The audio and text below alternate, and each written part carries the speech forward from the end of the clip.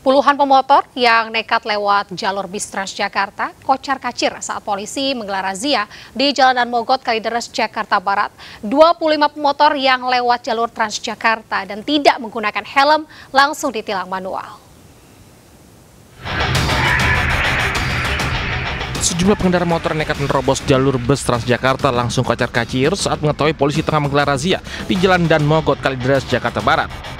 Pengendara yang berusaha bersembunyi di belakang bus Transjakarta tak bisa menghindar dan terjaring razia tilang manual. Kendaraan petugas PPSU yang nekat menggunakan jalur bus Transjakarta juga ditilang. Jumlah pelanggar lalu lintas maupun nekat melalui jalur Transjakarta untuk menghindari kemacetan ibu kota. Saya Pak itu cuma Pak Pak Tapi tahu nggak kalau jalur busway itu dilarang?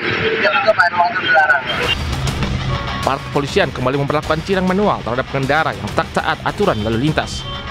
Tak hanya melanggar jalur Transjakarta, 25 motor yang tak mengenakan helm juga ditilang manual. Dari Jakarta, Mit Paul Gani, Ainus melaporkan.